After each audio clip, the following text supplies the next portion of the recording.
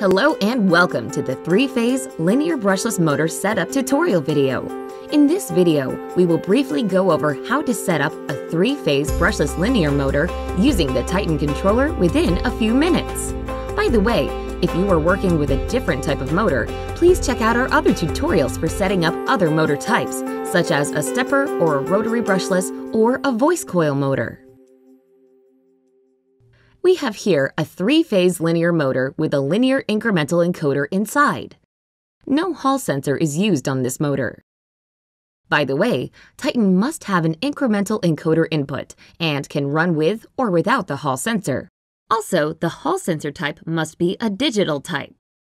Before getting started, we need to know the magnet pole pitch distance, as well as the encoder resolution from the motor supplier. For this particular motor, the magnet pole pitch is 60 millimeters, and the encoder resolution is 1 micron. These values will be needed later when we set up the motor. Connect the motor and the encoder to the Titan.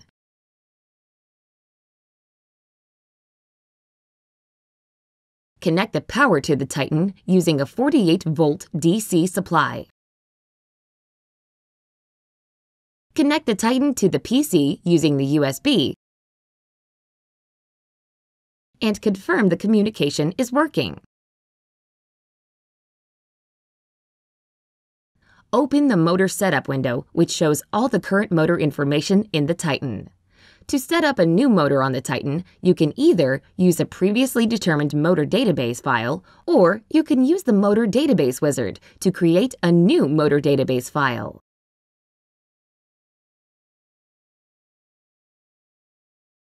Select three-phase linear brushless servo motor. Enter the motor name, the voltage, and the max current to use for this motor. In this example, we will name the motor LM60 and enter 48 volts and 3 amps. Next, we will enter the magnet pole pair distance as 60 millimeters. The encoder resolution is 1 micron, Next, let's check if the encoder is working by moving the linear motor manually and seeing the position change. If Hall sensors are connected, you can also observe the Hall sensor status. But in this case, the motor does not have Hall sensors. Click the Next button to go to the next screen. Before we perform the auto detection routine, please make sure the motor does not have any load and is held down or mounted on a stable location. Let's place the motor stage in the middle of the stroke.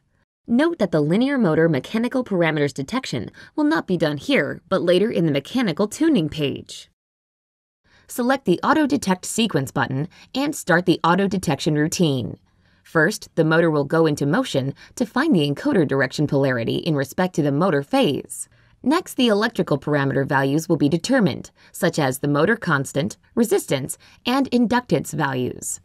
Let's move the motor back manually to the midpoint and proceed with the electrical parameter detection. The electrical parameter detection sequence will run twice, once with a low strength and another one with a higher strength.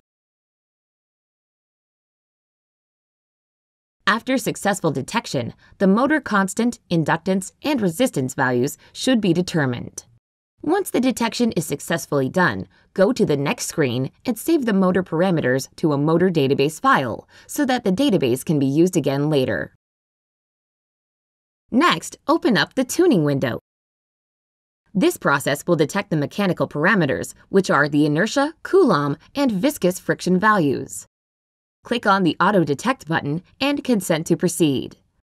First, we will need to set up the end of travel positions for safety. Manually move the stage to the negative end and reset the position as 0. Let's also set this as the minus soft limit. Next, move the stage to the positive end and click the Set button for the positive limit. Let's place the stage in the middle. Enable the Soft Limit Check option. We will now perform the auto detection routine, so make sure the motor is secure since quick motions will occur click the Perform Auto Detection button.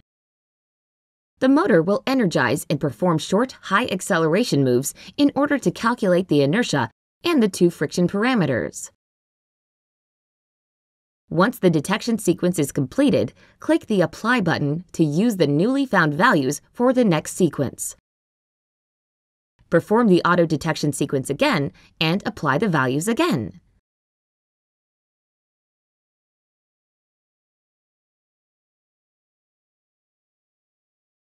Click the Next button to finish the detection routine.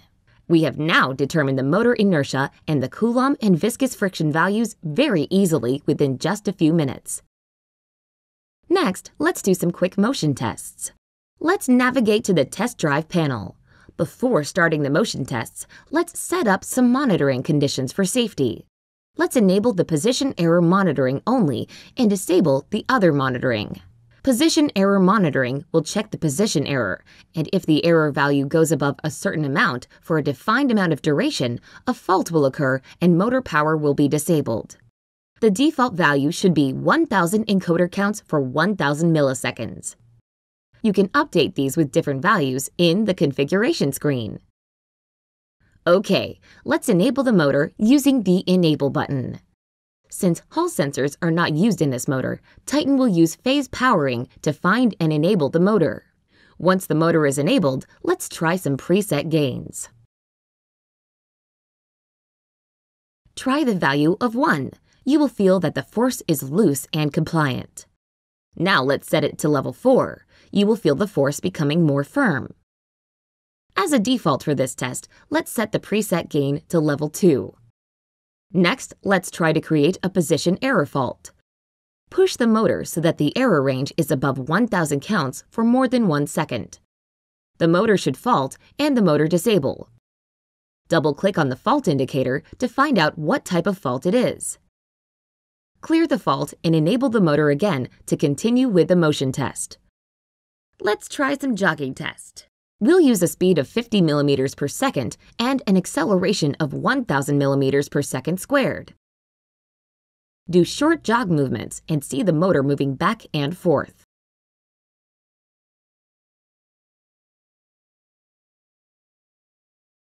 Next, we will test the target moves.